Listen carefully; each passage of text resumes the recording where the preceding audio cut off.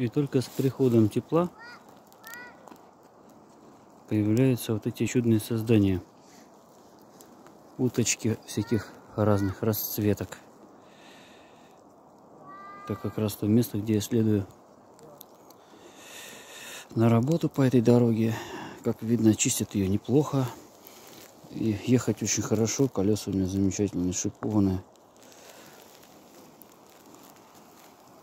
Можно было не показывать, но я так решил все в одном видео. Чистят, моют перышки. Дети балдеют от такого.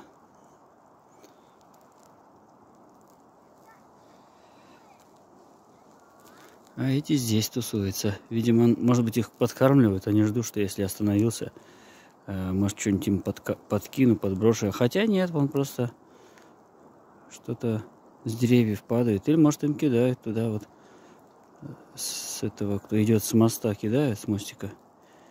И что-то ищут. Пропитание себе. Может, клевыки чистят. Все хорошего, в общем, настроения.